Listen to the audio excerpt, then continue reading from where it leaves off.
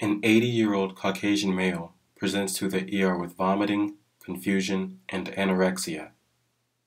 He has a history of atrial fibrillation for which he takes medication. Blood pressure is 135 over 84 millimeters mercury. ECG shows tachycardia. Serum labs reveal elevated potassium. What drug is most likely responsible for his symptoms?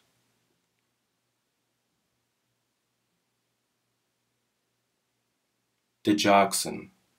Digoxin. Digoxin toxicity can cause atrioventricular block and tachyarrhythmia.